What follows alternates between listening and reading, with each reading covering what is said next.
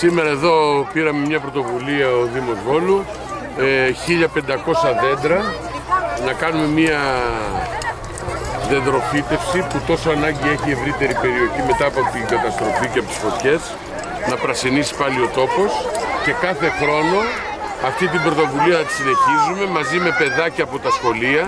Βέβαια περίμενα εδώ σήμερα να υπάρχουν και πολιτικοί απαταιώνες όπως φωνάζω εγώ γιατί ε, τέτοιες δραστηριότητες είναι παράδειγμα προς μίμηση και το παράδειγμα πρέπει να το δίνουμε εμείς απέναντι στην κοινωνία, απέναντι στα παιδιά. Εθελοντικά να προσφέρουμε. Εδώ δεν υπάρχει πολιτικός ε, χρωματισμός αν θέλετε ή ταυτότητα. Είμαστε όλοι ένα για την πόλη μας, για το περιβάλλον, για να δώσουμε αξίες και αν θέλετε προς το μέλλον για τα παιδιά ένα καλύτερο αύριο.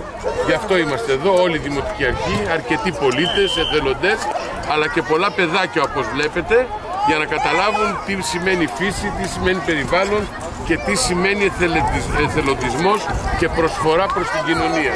Και αυτό κάνουμε. Αυτό ήθελα να πω, δεν ήρθαν μόνο από την υπηρεσία Πρασίνων. Όχι βέβαια. Φωνάξατε και σχολεία, είναι περίπου 200 μαθητές εδώ ναι, Κάλε, κάναμε κάλεσμα τα σχολεία οργανωθήκαμε και συνεργαστήκαμε μαζί με τους δασκάλους και την πρωτοβάθμια ε, ε, εκπαίδευση και υπάρχουν και αρκετοί πολίτες που ακούσανε το κάλεσμα και ήρθαν. Βέβαια οι υπόλοιποι που δεν το ακούσαν, όχι πολίτες, αυτοί που είναι στα πράγματα ως πολιτικοί ή ως θεσμικοί παράγοντες, περίμεναν να είναι εδώ.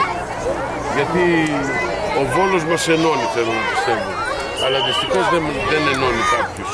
Ε, αυτό θα τους κρίνει ο κόσμος. Όταν έρχονται οι εκλογές και ζητάνε το, την ψήφο τους.